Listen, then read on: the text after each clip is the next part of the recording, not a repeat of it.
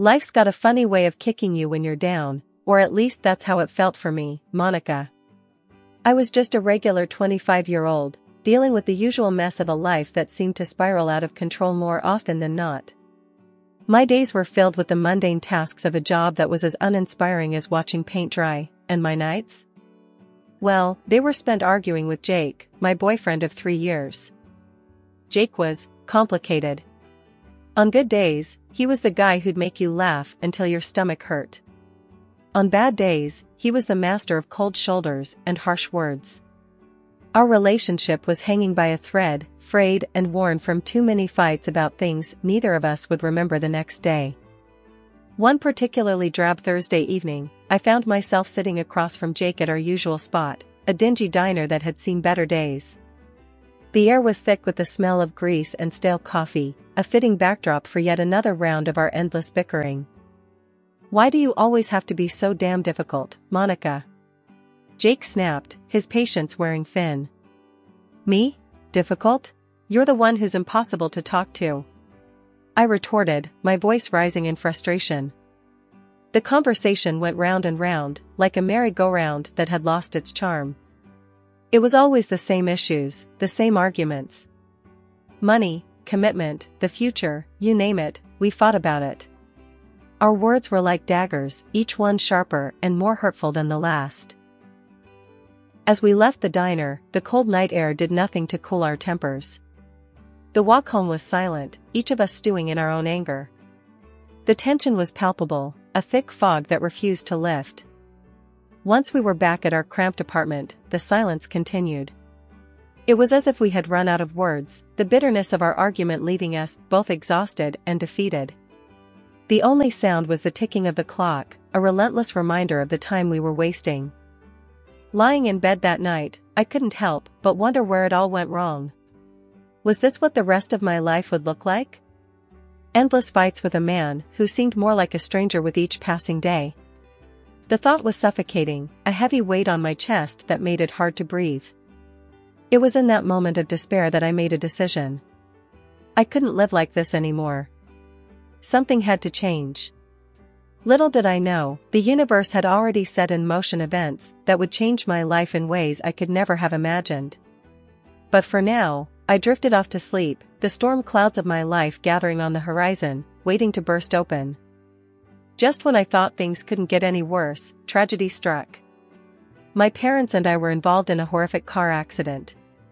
It happened so fast, one moment we were talking and laughing, the next everything was chaos and pain. When I woke up in the hospital, the world as I knew it had crumbled. My parents were gone, and I was left alone with a damaged spine and legs that wouldn't move. I couldn't see a future for myself. My life, as I knew it, was over. Lying in the sterile white of my hospital room, I was drowning in thoughts that maybe, just maybe, my life as I knew it was done for. The doctors, with their carefully neutral faces, told me that my road to recovery would be long, maybe never ending. Rehabilitation will be a significant journey, they said, their voices a mix of professional detachment and pity. But what I heard in their silence was a louder, scarier message, they didn't want to give me false hope. It was during one of those countless, blurred days filled with silent despair that Jake walked into my room, his parents trailing behind him. They had that look people get when they're trying to be strong for someone else, their smiles a bit too tight, eyes a tad too bright. Jake came to the side of my bed, and for a moment, he just looked at me.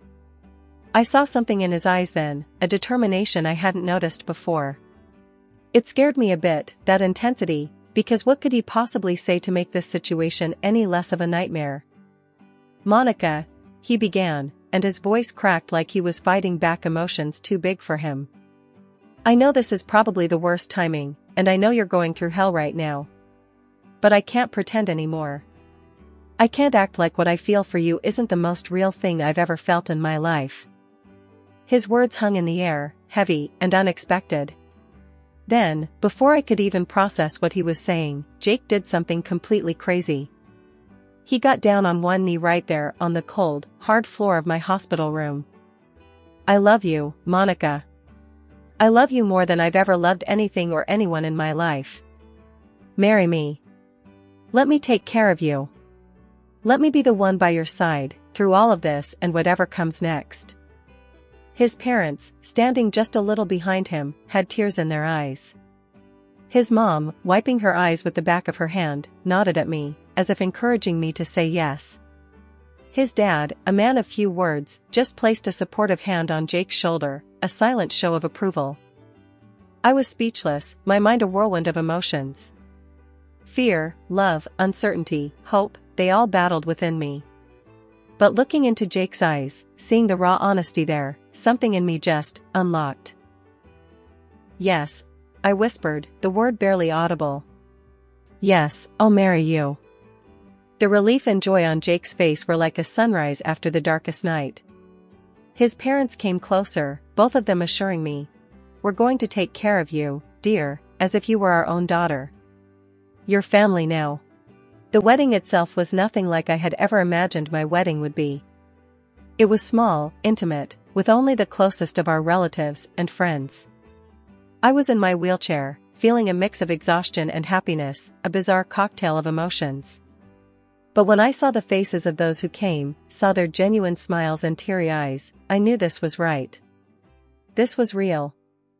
Despite the unorthodox circumstances, that day was a blur of love, a testament to something I wasn't sure I believed in anymore, hope. Jake and I, hand in hand, faced our small audience, our vows more than just words, they were promises, a bridge over the uncertainty of my recovery and our future. And as we sealed those vows with a kiss, I allowed myself to believe, maybe for the first time since the accident, that life wasn't over. It was just taking a route I hadn't planned on, a route I wouldn't have to navigate alone. After Jake and I got married, we moved into the big, fancy house my parents left me. It was already fixed up for someone in a wheelchair, with handrails everywhere and special stuff in the bathroom to help me take a shower or a bath. At first, Jake seemed all caring and helpful, like he was really gonna stand by me through thick and thin. But that changed faster than I expected. Not long after we moved in, Jake quit his job. He said it was cause he needed to take care of me, but honestly, I wasn't seeing much of this so-called care. His excuse was that we didn't need to worry about money cause of the inheritance I got from my parents. According to him, that meant he didn't need to work anymore. But here's the kicker, I ended up doing most stuff by myself. Cooking, trying to clean up as best as I could, struggling to take a bath, it was all on me. Meanwhile, Jake spent his days glued to his computer screen, playing games, or hanging out with his buddies at some bar. He'd come home late, usually drunk, and then he'd start on me, calling me a burden and whatnot. It wasn't just Jake either. His parents, who used to be all sweet and caring before we got married, flipped a switch too. They'd come over, and I'd catch them giving me these looks of disgust when they thought I wasn't paying attention. It was like they saw me as some kind of mistake their son had made. One day, I had enough and confronted Jake about it.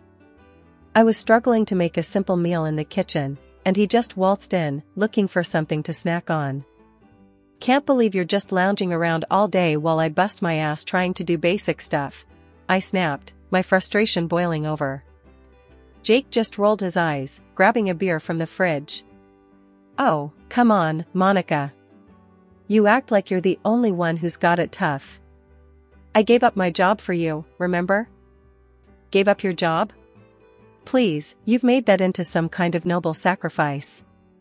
All you do is mess around all day while I'm stuck dealing with, with all of this. I gestured around the kitchen, my voice cracking with emotion.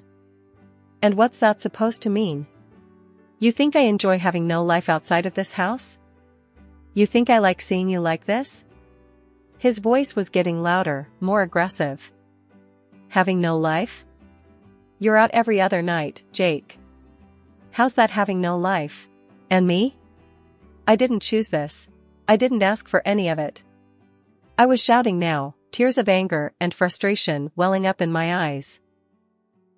The argument spiraled from there, each of us hurling accusations and hurtful words until we were both too exhausted to continue. It was clear as day that the man I married, the family I thought I'd gained, they weren't the support system I'd hoped for. They were just another set of obstacles I had to navigate in this new, harsh reality of mine. As the days turned into weeks, the atmosphere in my home shifted from uncomfortable to outright hostile. Jake's parents, who had once put on a facade of concern and affection, now treated my home like their personal kingdom, blatantly disregarding any semblance of respect or boundaries. Their behavior escalated quickly. They roamed the house as if it were theirs, rummaging through the refrigerator at any hour, taking food without so much as a by your leave. The living room became their domain, the sofas permanently indented from their constant lounging.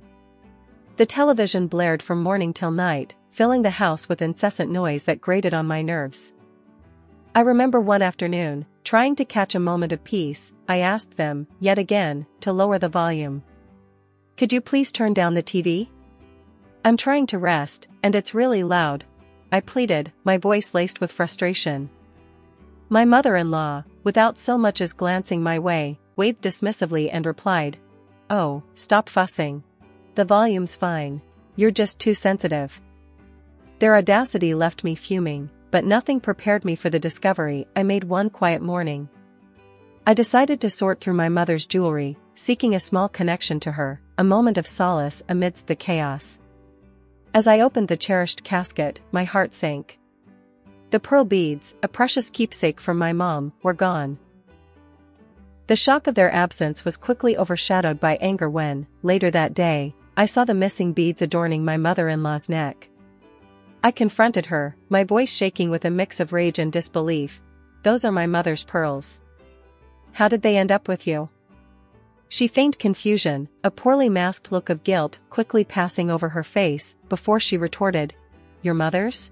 Don't be ridiculous. These have been mine for years.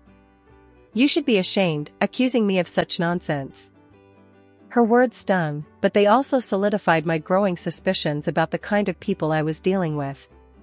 My discomfort turned to vigilance, and it wasn't long before I noticed other items missing. Paintings that once graced our walls, expensive dishes that were part of my family's collection. Each disappearance chipped away at my sense of security, leaving me feeling more isolated and betrayed. The final straw came when I caught a glimpse of my mother-in-law one evening, sneaking out with a large, bulging black bag. Her hurried pace and the way she glanced around, thinking she was unnoticed, spoke volumes. I couldn't stay silent any longer. Confronting her the next day, I demanded, What was in that bag you took out last night? More of my things? More of my parents' memories you decided you're entitled to? Her reaction was a mix of defensiveness and guilt. You've got it all wrong, she stammered, avoiding my gaze. I was just, taking some things to donate. Your accusations are hurtful and unwarranted. But her words rang hollow. The evidence was too damning, the pattern too clear. I was living with vultures, picking over the remains of my past life, my family's legacy. The realization was a bitter pill to swallow, leaving me to wonder how I could ever have thought these people were my family. Lily, my beacon in the fog of deceit surrounding me, was more than just a friend at this point, she was my ally in a house that felt more like enemy territory with each passing day. During one of her routine visits for my massage therapy, which had become one of my few solaces, I finally broke down and shared my darkest suspicions about Jake and his parents. The weight of my words hung heavy in the air, thick with betrayal and fear.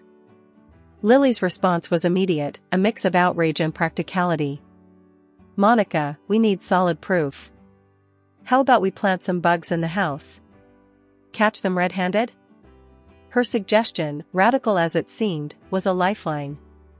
Desperation had a way of making the unthinkable suddenly seem like the only option. So, we did just that. Lily expertly placed tiny recording devices in strategic locations around the house, her movements swift and unseen. The anticipation was torture, waiting for the right moment to listen to the recordings. When we finally sat down to review them, the sense of betrayal I felt was suffocating. Jake and his parents' voices filled the room, their words a testament to their greed and callousness. Jake's voice was the first to cut through the silence. Once Monica is out of the picture, in that institution, everything here is ours. We'll live like kings. His mother's laughter was a chilling soundtrack to their scheming. That jewelry sale was just the start. We've barely scratched the surface of what we can make off her inheritance. And his father, always the quiet one, surprised me the most. Keep it down. We don't want her getting wind of this before everything's in place. But yeah, the sooner she's gone, the better. Lily and I exchanged a look of horror. The reality of my situation was worse than I had imagined. They weren't just stealing from me, they were planning to dispose of me, to erase me from my own life. I can't believe this. How could they be so cruel? My voice was barely above a whisper, the hurt and disbelief rendering me almost speechless. Lily, ever my protector, squeezed my hand tighter. We won't let them get away with this, Monica. You're not alone in this fight. But the question of what to do next was daunting.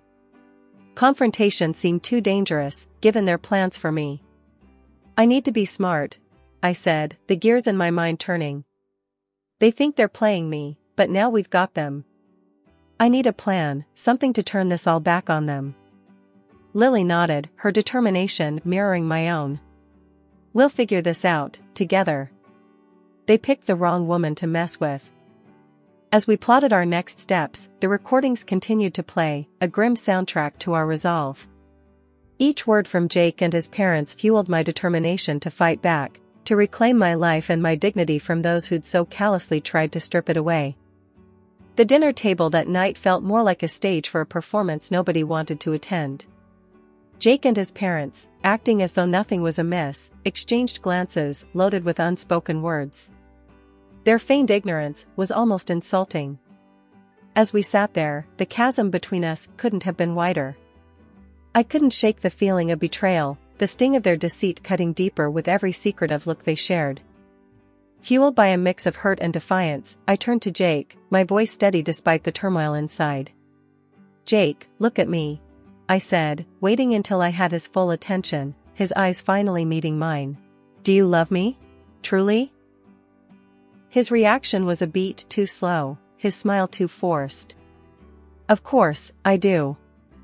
You're my wife, he replied, the words sounding rehearsed, empty. That smile, meant to reassure, only served to confirm my suspicions. I smiled back, a hollow mimicry of his, a silent acknowledgement of the lies that hung between us. Waking up to find the ramps gone was like waking up to a nightmare. The realization hit me hard, without them, I was trapped, even more dependent on the very people who sought to control me. I confronted them at breakfast, my frustration boiling over. Why would you remove the ramps? How am I supposed to move around now? I demanded, my voice echoing in the suddenly quiet room. It's for your safety, dear. My mother-in-law cooed, her concern as fake as the pearls she claimed were hers. We're worried you might fall. This is for the best. Their words were a thinly veiled attempt to further isolate me, to clip my wings. I stared at them, their faces a mask of feigned innocence, and said nothing. My silence was strategic, a calm before the storm I was quietly brewing. Behind their backs, I made calls, reached out to the service for the disabled, and enlisted my lawyer's help. They arrived unexpectedly, a welcome intrusion. The shock on Jake and his father's faces was palpable, a mix of fear and disbelief as the team from the service began their assessment, immediately noting the absence of the ramps. My lawyer, ever the professional, wasted no time. We're here to conduct a thorough inventory check, he announced, his tone brooking no argument. An inventory was made after Monica's parents passed. We're going to verify that everything is as it should be. As the meticulous inventory unfolded, the stark reality of betrayal became increasingly apparent. My lawyer, a steadfast presence amidst the chaos, meticulously checked off each item against his exhaustive list, his professionalism a stark contrast to the emotional turmoil swirling around us. The absence of my mother's jewelry, my father's collection of expensive suits, the missing paintings that once adorned the walls with history and culture, antique dishes that were family heirlooms.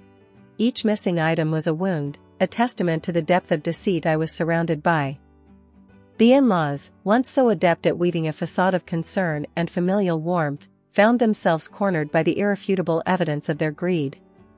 Their initial shock quickly gave way to a desperate attempt at salvaging whatever they could from the situation. Tears streamed down my mother-in-law's face as she turned to me, her voice quivering, We're so sorry, dear. It all just got out of hand. Please, can't we move past this? Her husband, my soon-to-be ex-father-in-law, echoed her sentiment, his voice breaking under the weight of his guilt. We never meant to hurt you. It was greed, foolishness. Please forgive us. But the time for forgiveness had long passed. I faced them, the weight of their betrayal heavy on my heart, yet my resolve unwavering. Forgiveness? After everything you've done? You didn't just steal things, you tried to steal my dignity, my independence. I countered, my voice steady and strong. Turning to the police officers, I presented them with the inventory results and the recordings, undeniable proof of the in-laws' deceit. These are the people you're looking for, I said, the finality in my voice marking the end of this chapter of my life. The court proceedings were swift, the evidence overwhelming. The judge's gavel sealed their fate, sentencing them for their crimes, mandating the return of what could be salvaged from their thefts, and compensating for what could not. Watching them face the consequences of their actions, a mix of relief and sorrow washed over me. Justice had been served, but at what cost? Divorcing Jake was a liberating, if painful, process. I also pursued compensation for the mistreatment, a legal acknowledgement of the suffering they had inflicted. Throughout the legal battles, my voice never wavered, my testimony a cathartic release of all the pain and betrayal I had endured. In the end, sitting in a wheelchair on the steps of the courthouse, a sense of closure enveloped me. The journey had been harrowing, a test of my resilience and strength. As I look back on the tumultuous journey I've endured, it's hard not to feel a sense of pride mingled with disbelief. The road to recovery was fraught with uncertainty, yet here I am, making strides, both literally and metaphorically, that once seemed out of reach. My legs, which doctors feared might never regain their strength, are now carrying me forward, step by tentative step. The sensation of pebbles under my feet, a once mundane experience, now fills me with an overwhelming sense of victory. Your progress is nothing short of remarkable. My doctor told me during a recent visit, his voice tinged with genuine astonishment. It was a far cry from the cautious optimism he offered in the early days of my rehabilitation. Reconnecting with my friends has been a lifeline, their unwavering support a constant reminder that I'm not alone in this fight. We're here for you, no matter what. They assure me, their words a balm to the scars left by betrayal. Jake, the man I once believed would stand by me through thick and thin, has become a distant, almost pitiful figure. Stripped of the financial windfall he so greedily anticipated, he now scrapes by, his calls and apologies a desperate attempt to claw back into my life. Can't we just put all this behind us? Start fresh? He pleads, his voice a mix of desperation and hope. I can't help but laugh, the sound rich with scorn and liberation. Start fresh? With you? I reply, my voice steady and confident. That's a chapter of my life I've happily closed. You're just a footnote now. The flowers he sends, a pathetic attempt at reconciliation, find their way straight into the trash. You think a few roses can erase your betrayal? I scoff, discarding them with ease. They're a reminder of what I've overcome, not of what I've lost. In the midst of navigating this new normal, I've discovered a passion I never knew I had. Painting has become my sanctuary, a way to express the whirlwind of emotions that accompany my journey. An easel and a set of paints are now my most cherished possessions, allowing me to bring memories of my parents to life and to capture the beauty of the world around me. This is how I heal. I explain to anyone who asks, my brushstrokes a testament to my resilience. My transformation is not just physical, it's a rebirth of my spirit. They thought they could break me, but I'm stronger than I've ever been. I declare, with newfound determination.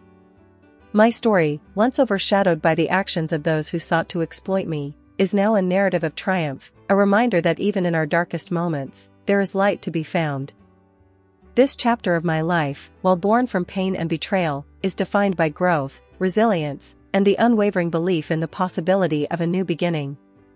I am not the same person I was before, I am stronger, wiser, and ready to face whatever comes next with grace and courage.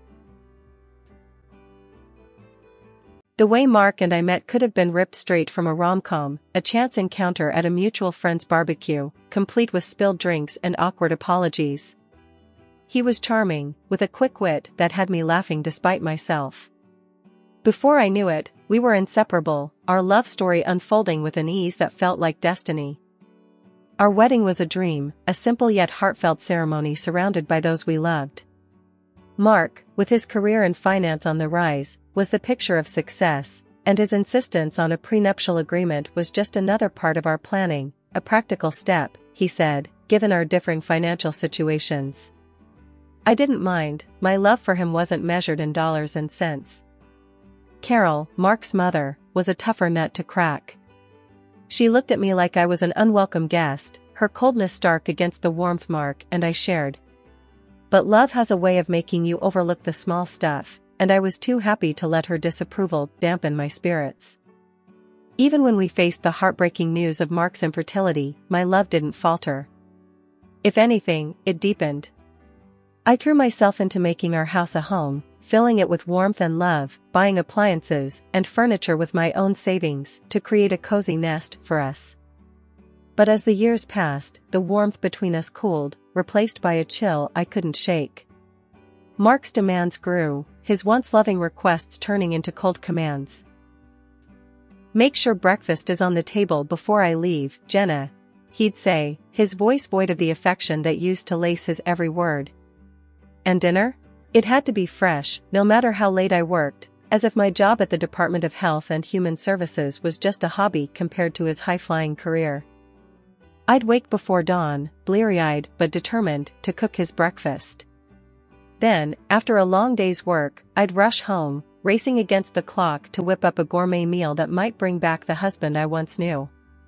But it was never enough. He took my efforts for granted, never once uttering a thank you, only reminding me that I should be grateful for the roof over my head, his roof. Our conversations, once filled with laughter and shared dreams, now were battlegrounds, his words cutting deeper each time. This is my house, Jenna. Don't forget that. He'd snap, whenever I dared to suggest anything might be amiss. Each day, as I moved through our home, touching the pieces of our life I'd built with love and care, a thought began to take root in my mind. What if I were alone? The idea, once unthinkable, now felt like a bomb. My love for Mark had been replaced by a weary resignation, worn down by his indifference and coldness. One evening, as I sat at the kitchen table, staring at the empty chair across from me, the realization hit me hard. I no longer recognized the man I had married, nor did I see the woman I had become in his reflection. The love that had once been my guiding light had faded, leaving behind a longing for peace, for a life where my efforts were seen, my presence valued.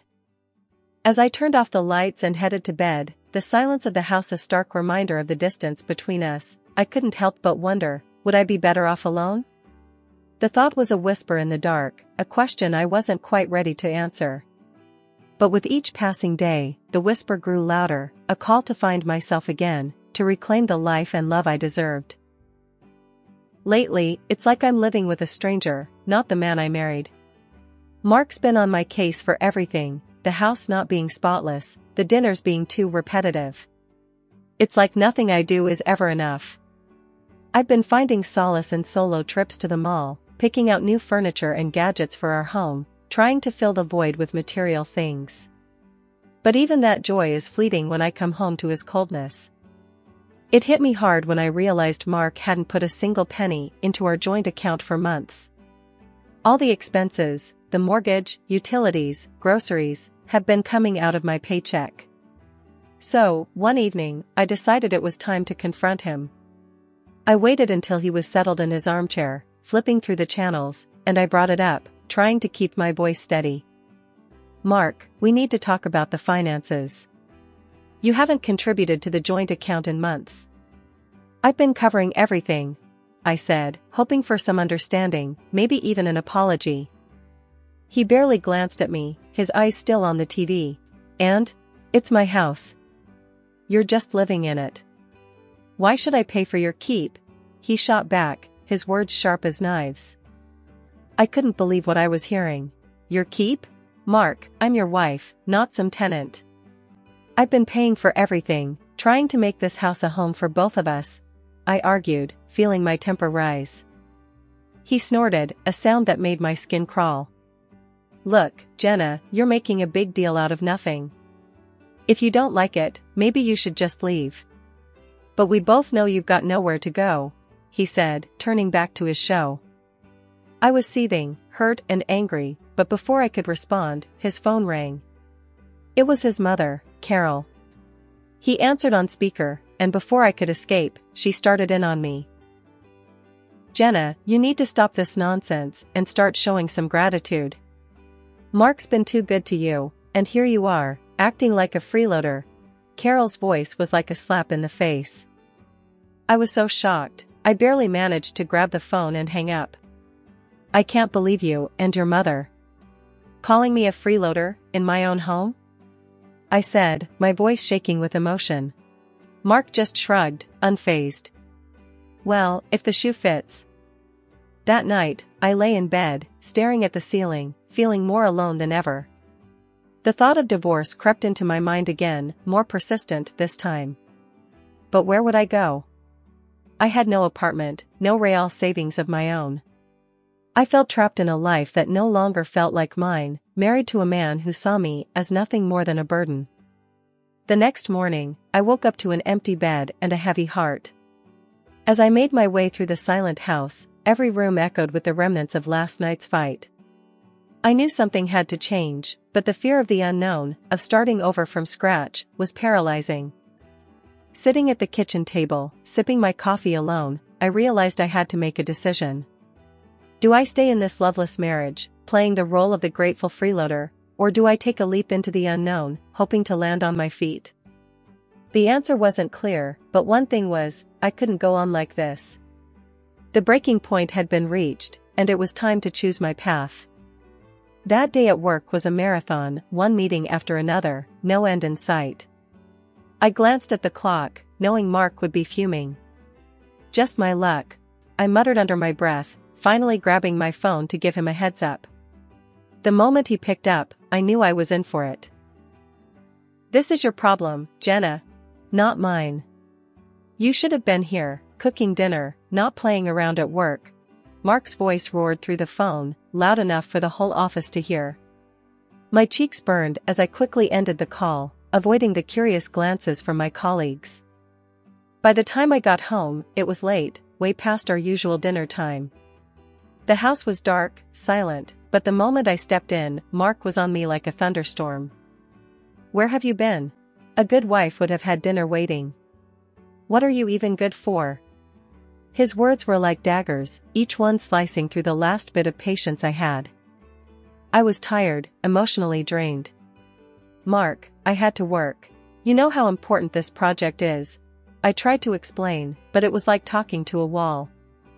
A bad wife and a terrible hostess. That's what you are. He continued, his voice reaching a pitch I'd never heard before. You know what? I've had enough. Pack your things and get out of my house. I stood there, shocked, as he shoved the divorce papers in my hands. You'll be homeless without me, he said with a cruel laugh. Something inside me snapped. All the years of bending backward for him, trying to be the perfect wife, vanished. Living in a shelter would be better than enduring one more day with you. I shot back, my voice steadier than I felt. Without another word, I signed the papers, my hand not shaking even a bit. I packed my things into a suitcase, the weight of my decision settling in. As I looked around the house, our house, it no longer felt like home. It was just a building, filled with broken promises and shattered dreams.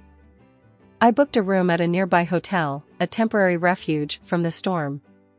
Lying in the unfamiliar bed, I realized this was the first night in years I didn't have to worry about what Mark wanted for dinner or if the house was clean to his standards.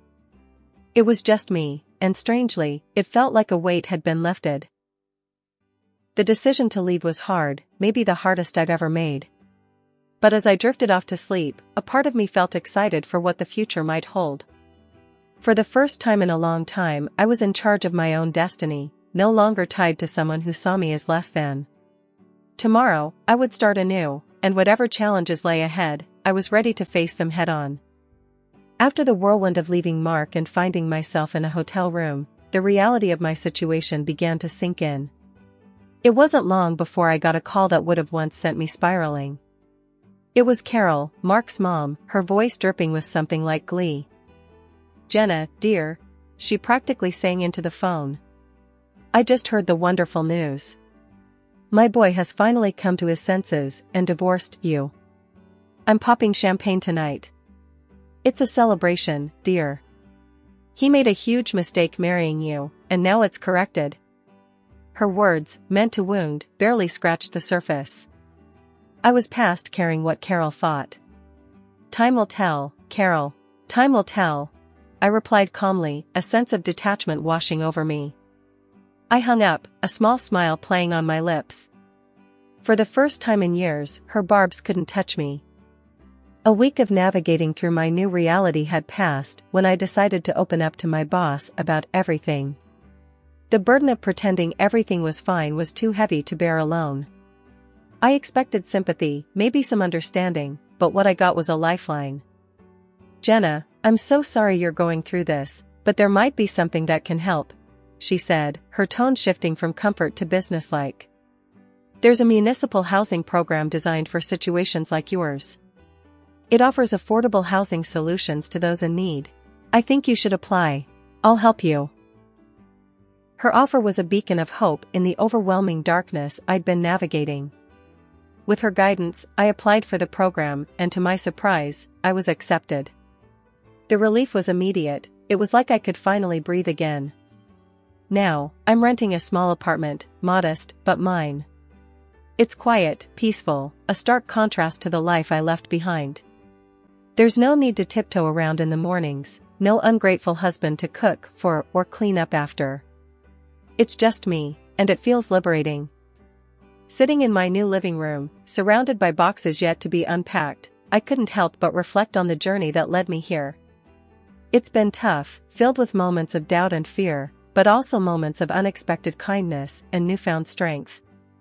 For the first time in a long time, I'm excited about the future. I've got a blank canvas in front of me, and I'm ready to start painting a new life, one where my happiness doesn't depend on anyone else. It's a new beginning, and I'm here for it, ready to see where this next chapter takes me. It had been a quiet few months since I started over, finding peace in the simple routines of my new life. Then, one afternoon, as I was enjoying a rare moment of calm, my phone erupted into a cacophony of rings. The screen flashed a name I hadn't seen in ages, Carol, my ex-mother-in-law. My heart sank. Why now? Bracing myself, I answered. Hello? Jenna. You need to come back to Mark this instant. Carol's voice screeched through the speaker, so loud I had to pull the phone away from my ear. I sighed. Carol, why would I ever do that? The question was rhetorical, more for myself than for her. Because he's in trouble, that's why. That fool of a son of mine bought shares years back, took out loans, and now? He's up to his neck in debt. It's a disaster, and you need to help him sort it out. Her voice was a mix of anger and desperation. I couldn't help but laugh, not out of amusement, but sheer disbelief. Help him? Carol, do you remember the prenup? The one Mark was so eager to have? It says clearly that I'm not responsible for his debts. And let's not forget, we're divorced. His financial mess isn't my problem. There was a sharp intake of breath on the other end. Ungrateful girl. After everything we've done for you, you're just going to abandon him? Her tone was accusatory, as if I had committed a grave sin. Everything you've done? Carol, let's be clear. The only thing you and Mark ever did was make my life miserable. And as for abandoning him, remember, he kicked me out. He made it clear I was no longer welcome in his life or his house. I retorted, my patience wearing thin. You'll regret this, Jenna. You think you're better off without him, but you're making a huge mistake. She spat out, her voice venomous. I took a deep breath, finding a calm I didn't know I had. Carol, I've spent too much of my life living in regret and fear because of you and Mark. I'm done. Mark's debts are his own doing. It's time he learns to deal with his own mess. I'm moving on with my life. Goodbye, Carol. With that, I ended the call, a sense of finality washing over me. I had expected to feel shaken, upset, maybe even guilty. But all I felt was relief. Standing up to Carol, making it clear that I was no longer part of their twisted family drama, felt like shedding a weight I'd been carrying for too long. Sitting back down, I let out a long breath I hadn't realized I'd been holding. The conversation with Carol, as unpleasant as it was, served as a stark reminder of how far I'd come. I had fought hard for my independence, my peace, and no amount of guilt tripping could drag me back into that chaos. For the first time in what felt like forever, I felt truly free. Free from the expectations, the criticisms, the endless cycle of trying to please people who would never see my worth. I had found my strength, my voice, and I wasn't going to let anyone take that away from me again. As I looked around my small apartment, a sense of pride filled me. This was my space, my sanctuary, and my new beginning. I had survived the storm and come out stronger on the other side. And no call, no matter how unexpected or unwelcome, could change that. The next morning, I woke up with a resolve as clear as day, it was time to reclaim what was mine. I rummaged through my files until I found the receipts for all the items I had poured my money into over the years. The sleek dishwasher that made Mark's life easier, the washing machine we picked out together, though, let's be honest, I paid for, and the high-end coffee machine that became the centerpiece of many of his mornings. It wasn't just about the money, it was about the principle, about not letting my contributions be erased and taken for granted any longer. With a moving truck booked and a couple of strong helpers at my side, I went back to the house that was no longer a home. The door opened to an eerie silence, a stark contrast to the chaos of emotion swirling inside me. As the workers started loading up the truck, I couldn't help but feel a mix of satisfaction and sadness. Each piece of furniture, each appliance, had a story, a memory attached to it. But as they say, you can't cling to the past if you want to move forward. Just as we were finishing up, my phone rang. I knew without looking who it was. Mark's name flashed on the screen, his call as predictable as it was unwanted. I answered, bracing myself for the storm. Where the hell is all my stuff? He bellowed, skipping any pretense of a greeting. Your stuff? I couldn't help the incredulous laugh that escaped me. You mean the things I bought with my money? I've taken them back, Mark. According to our prenup, I have every right to. His curses and insults flew fast and furious, a torrent of anger that once would have cowed me. But not anymore. Listen, Mark. I cut in, my voice steady. I wish you the best, truly. But this is where our paths diverge for good. And with that, I hung up and blocked his number, a symbolic gesture of cutting the final tie that bound me to a life that no longer served me. As the moving truck drove away, my heart felt lighter than it had in years. This wasn't just about reclaiming my possessions, it was about reclaiming my life, my independence, and my self-worth.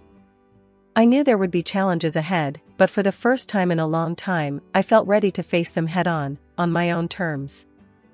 Six months down the line, life's taken a turn I hardly dared dream of. I've snagged myself a cozy apartment in a neat part of town, all thanks to this social program my boss tipped me off about. The deal was sweet, a manageable down payment with tiny payments stretching out over the years. For the first time, I'm not just scraping by, I've got a bit of wiggle room in my budget, enough to spoil myself without worrying about anyone else's needs or wants. The day I got the keys to my place, I remember stepping through the door, the sense of ownership washing over me. It was a blank canvas, and for the first time in forever, I could paint my life exactly how I wanted. No compromises, no sacrifices, just me. I treated myself to some paints and canvases, a nod to the girl I used to be, the one who found joy in splashing watercolors around, lost in the flow of her own creativity. I even painted a self-portrait, something I'd never have dared do before. staring at my work, I saw a woman who'd weathered storms and come out stronger, a woman who didn't need anyone else to define her worth. It was like I was seeing myself clearly for the first time, beautiful, self-sufficient, and yeah, a bit selfish, but in the best possible way. And then there's Max, my little bundle of joy, a scrappy little dog with eyes too big for his face and a heart just as oversized. Adopting him felt like the final piece of my new life clicking into place. We've become a team, exploring the neighborhood, making the apartment our home.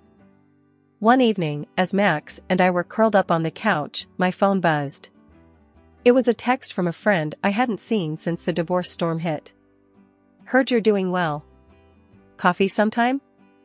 I smiled, typing out a reply. Yeah, life's good. Coffee sounds great. My place, actually. I've got some art to show off.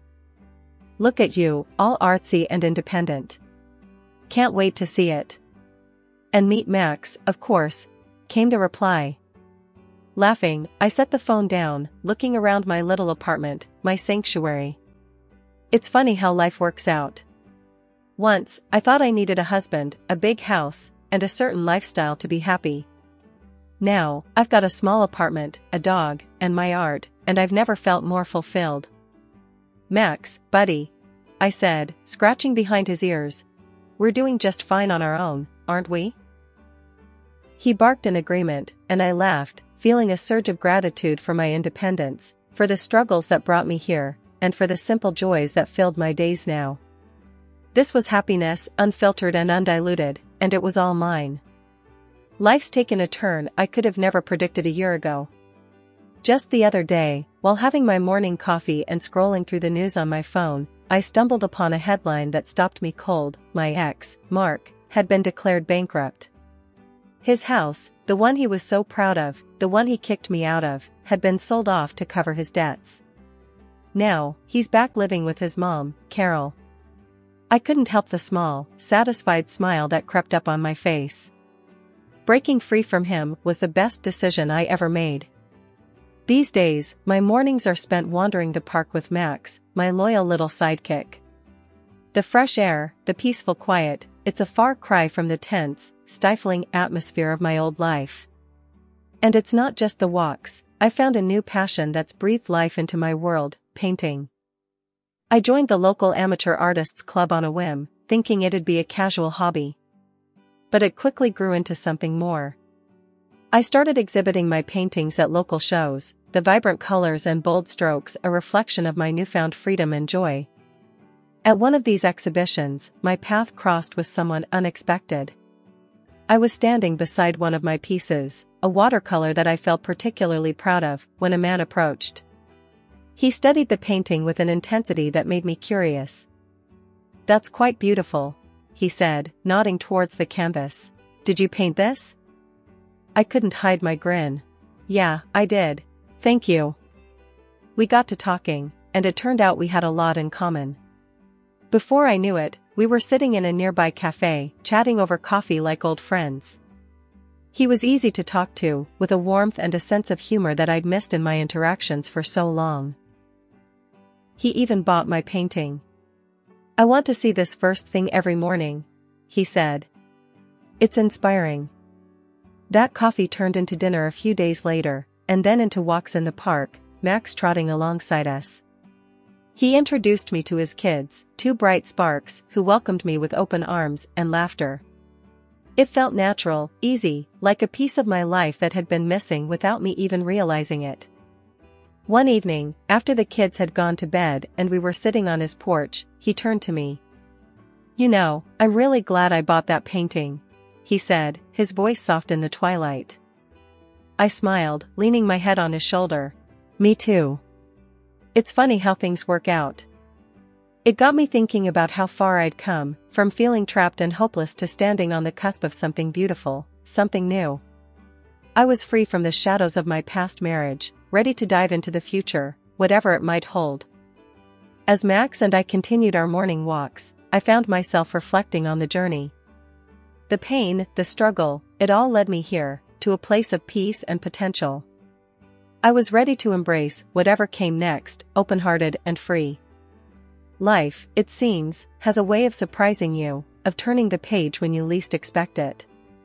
And as I walked, the sun breaking through the trees, I couldn't help but feel grateful for every twist, every turn that brought me here. Ready for a new chapter, I stepped forward, into the light.